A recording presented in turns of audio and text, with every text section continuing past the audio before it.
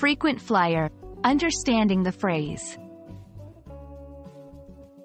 Hello everyone, and welcome to our English language learning series. Today, we're going to explore the meaning and usage of the phrase, frequent flyer. Whether you're new to the English language or looking to expand your vocabulary, this video is for you.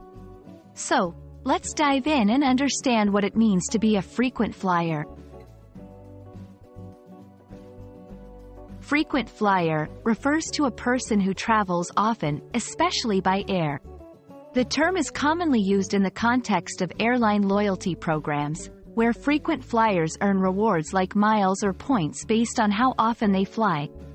This phrase is not just about the frequency of travel but also implies a level of experience and familiarity with air travel.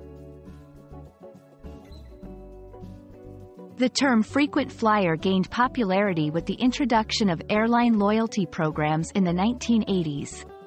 Initially, it was used to describe passengers who traveled often for business. However, its usage has expanded over time. Now, it's a common term in travel-related discussions, representing anyone who travels by air regularly, be it for business, leisure, or other reasons.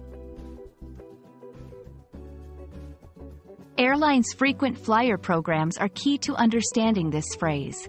These programs reward members with points or miles for their flights, which can be redeemed for free trips, upgrades, and other benefits. These programs encourage brand loyalty and are a significant reason why people aim to become frequent flyers. Being a frequent flyer often carries a certain prestige. It's associated with a well-traveled, global citizen, However, it's also important to understand the environmental impact of frequent flying, which has led to a more conscientious approach to travel in recent years. I hope this video helped you understand what it means to be a frequent flyer. Whether you're aiming to join a frequent flyer program or just curious about the term, remember that it's all about traveling often and reaping the benefits that come with it.